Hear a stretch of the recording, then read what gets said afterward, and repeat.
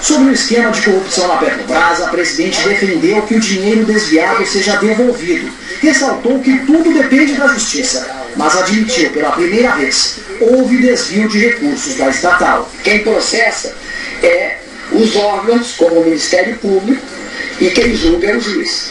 Eu tomarei todas as medidas para ressarcir tudo e todos. Agora, ninguém sabe hoje ainda o que, que deve ser, ser ressarcido.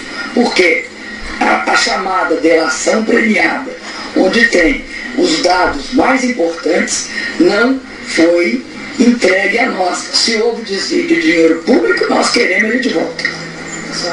Se houve, não houve, viu? Se houve, não houve, viu?